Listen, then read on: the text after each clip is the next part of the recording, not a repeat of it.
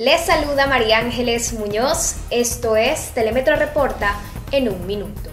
El Ministerio de Salud impuso toque de queda de fin de semana en las provincias de Colón, Bocas del Toro y Chiriquí, que comenzará a regir desde las 7 pm de este viernes. Además, habrá restricciones de movilidad según sexo y número de cédula, esto ante el aumento de casos de COVID-19 en esas provincias. El diputado del Parlamento Centroamericano Manuel Castillero rechazó juramentar a los hermanos Luis Enrique y Ricardo Martinelli Linares como diputados suplentes de ese organismo. Señaló que los hijos del expresidente estarían utilizando a conveniencia de los intereses el reglamento para, una vez más, abrir espacios a la impunidad.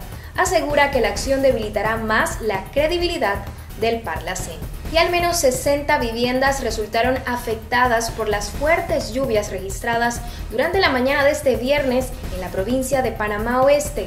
El Sistema Nacional de Protección Civil envió personal a los sectores de Vista Alegre, Bacamonte, Veracruz, Playa Leona, Cerro Silvestre y Vique para apoyar a los damnificados.